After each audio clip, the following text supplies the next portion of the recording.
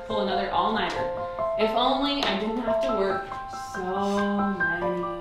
This is an all too common scenario for those students who try to have a job while still in high school, trying to do homework, play sports, and have a job. You could easily go anywhere you wanted in the state and, and teach with a population that might be less challenging. Mm-hmm. But why do you keep doing this?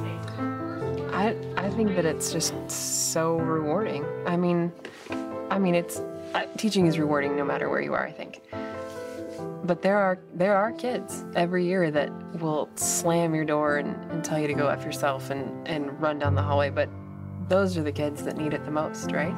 And so if you're called to teach and if you're called to make a difference, then why not make a difference in a high minority, high poverty building? You know, why not?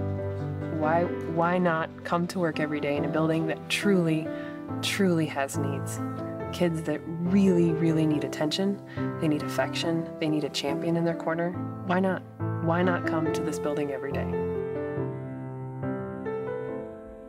It's hard. It is hard work, but it's good work every day. You know, why wouldn't why wouldn't you teach her? That's what I always think. All right, we're done for the day.